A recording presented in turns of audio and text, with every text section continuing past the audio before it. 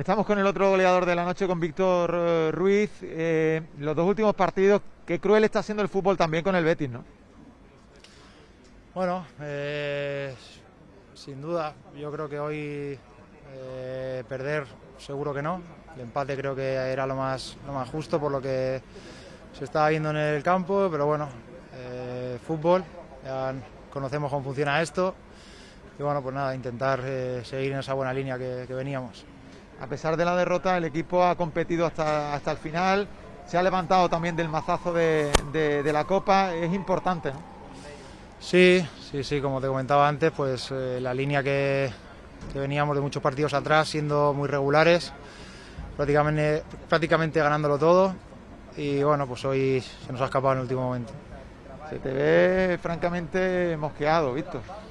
Hombre, no es para menos. Eh, hemos conseguido empatar y luego en una jugada absurda, pues te meten el tercero y se te queda una cara de tonto. Pero bueno, esto es así. A seguir, esta línea es la que, la que hay que seguir para seguir peleando por los puestos europeos. El próximo fin de semana también un partido importante en Villarreal. Sí, sí, sí, ganan bien bastantes partidos con un poquito más de descanso que los anteriores. Hay que prepararlos bien e intentar pues eso, sumar eh, de tres en tres para seguir en, en esos puestos de, de- de ahí arriba, de cerquita de Europa, que es lo que nos proponemos. Gracias, Víctor. Gracias.